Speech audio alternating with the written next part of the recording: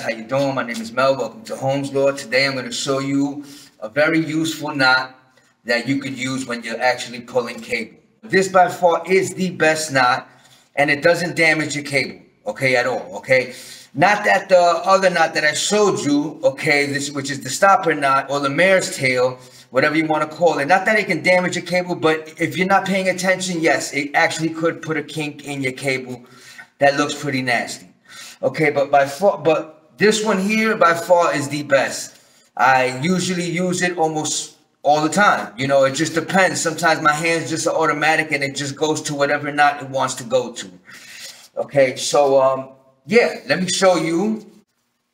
Okay, guys, so best knot ever. Okay, grab about this much rope. About five feet is good. Okay, okay, your load is going that way. Okay, so pretty much you want to wrap around four or five coils, okay? And your tail end is this end right here, okay? So you're gonna go with the tail end the opposite way of where your your motor is, the opposite way of where the pull is, okay?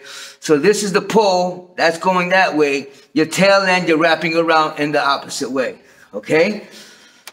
Okay, so after you got four or five coils, pretty much you want to grab your tail end and from underneath you want to come up under all of your coils in between the wires and wrap it just like that. And then wrap it right back around through it, okay?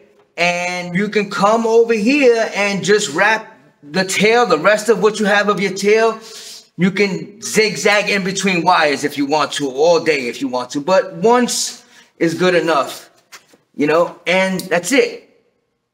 And this you can hold on to so that this can that your, your tail end can actually choke it and get it get the grip. And once it has the grip, you can let go of this and it'll pull it. And that's pretty much it in a nutshell. That's pretty much it. This ain't going nowhere. And this will tighten up so hard that it's ridiculous. Okay? And that's my favorite knot for you guys. I'm out.